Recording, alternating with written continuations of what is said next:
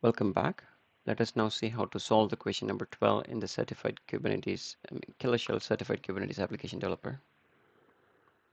So solve this question on this instance. First, let's connect to this host using SSH. And the question says, create a new persistent volume named this one, and it should have a capacity of 2 GB, byte, GB bytes. Access mode should be read write once, and host path is slash volumes slash data, and no storage class uh, name defined.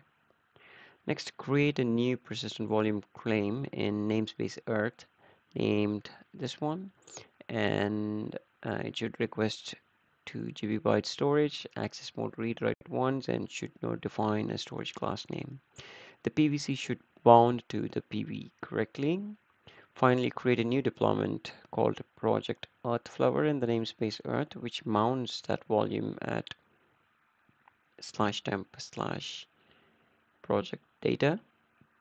The pods of the deployment should be of image uh, HTTPD, this version of Alpine. All right, so it's about creating a persistent volume and then the persistent volume claim, claim with uh, the given uh, specifics.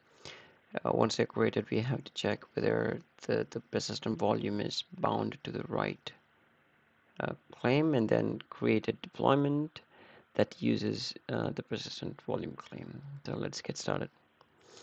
Uh, so for creating the persistent volume, uh, first let's go back to the Kubernetes official documentation and say persistent so volume. Let's grab the uh, persistent volume manifest from the documentation and make the changes accordingly. Here I'm going to search for kind persist.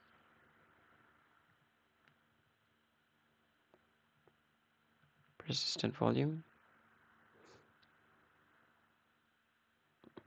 So here we have.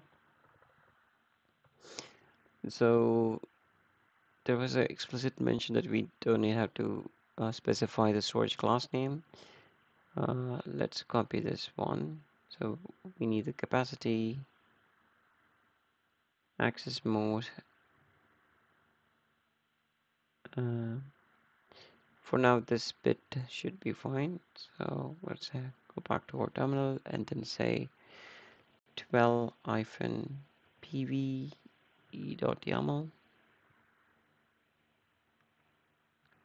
paste it and let's change the name.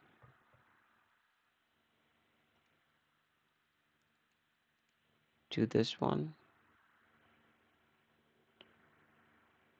And also the capacity to 2 GB bytes volume mode we don't need that. Access mode is read at once which looks okay and it also says um, we have to use the host path volumes slash data.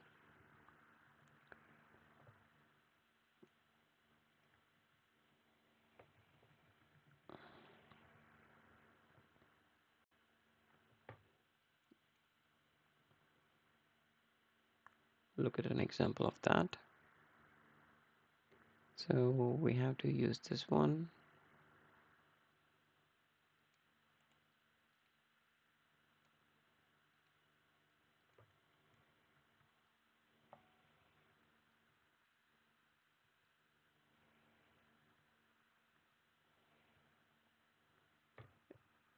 and the path be volumes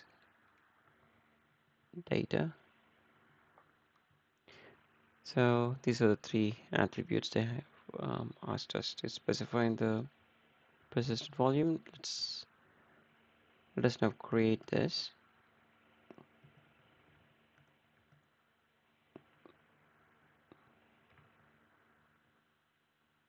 It's created let's inspect that. Kubectl get pv so it's created with 2 gigabytes read write once. Created 5 seconds ago looks good. Now uh, let's create the PVC for which we'll create another file 12-pvc.yaml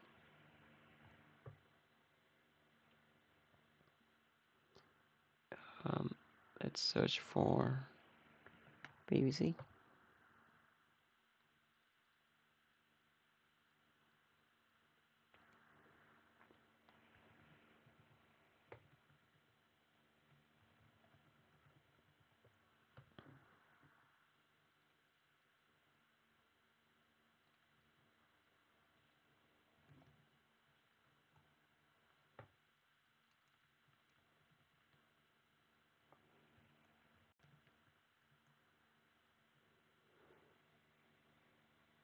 All right. Let's copy this back to our terminal.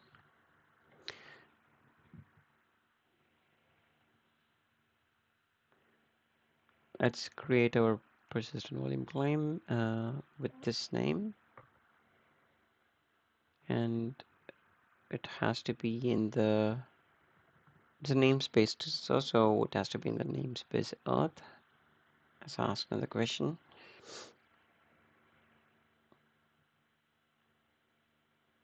We didn't use any storage class uh, we don't need this too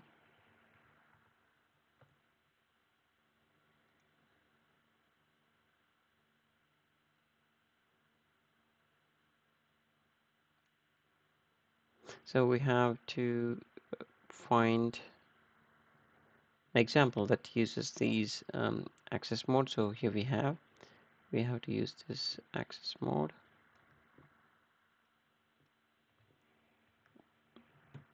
Access mode is read write once.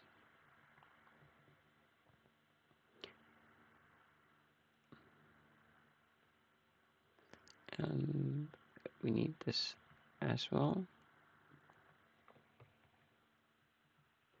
so resources request should be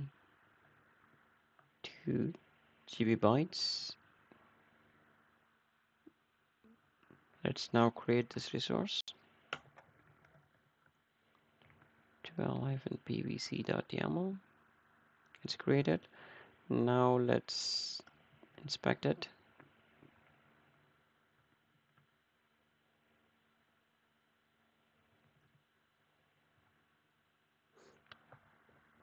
so we have this PVC created 12 seconds ago and the status is bound.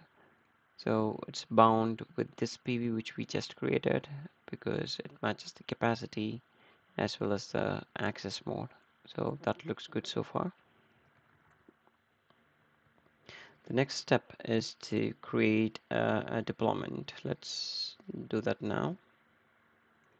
So kubectl in the namespace earth create a deployment called project earth flower um, use this um, image. Let's do dry run as client and output the YAML to 12 deployment.yaml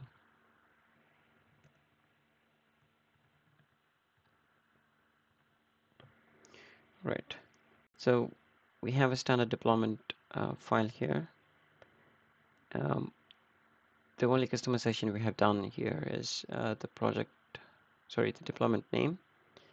Uh, we have to add the volume and volume mount to this deployment uh, so that the deployment can use those um, the persistent volume claim that we just created.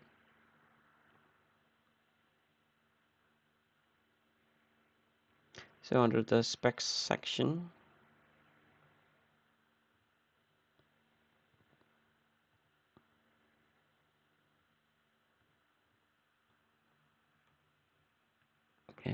let's get rid of these lines which is uh, managed fields created automatically. So yeah. First let us do the volumes.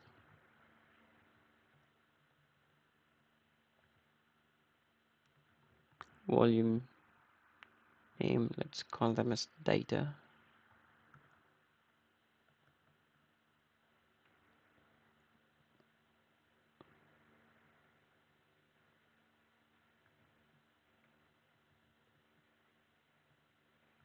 Persistent volume claim.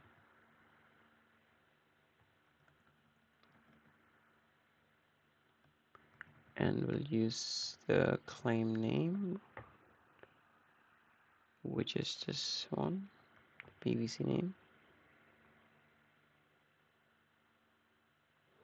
So we're done with the volumes. Now let's do the volume mount oh it should be under the container section. So volume is should be on the volume should be on the pod level. The volume mm, amount should be on the container level. So let's go to the container section and say volume mounts we have to give the same name. And so they've asked us to mount that volume in this path. So the mount path is going to be this one. So we have created volume and volume mounts for this deployment and looks good so far. Let's save this and now create this resources uh, deployment resource it's created. Let's inspect uh, the resource. The earth namespace. Uh, describe.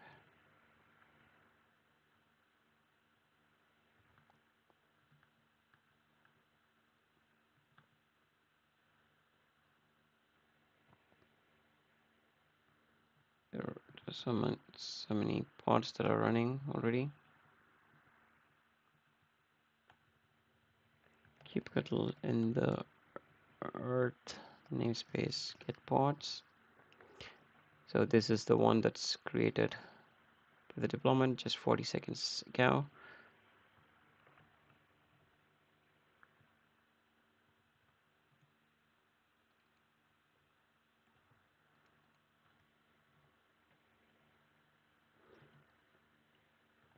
Uh, instead of get pods let's describe the pod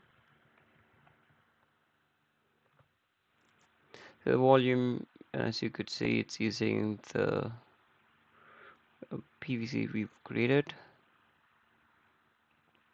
And volume mount um, as given in the question so that the pod is also um, up and running. So that concludes uh, the question number 12 so if you like the video please do hit that like and subscribe button and uh, we'll see you in the next video. Thank you for watching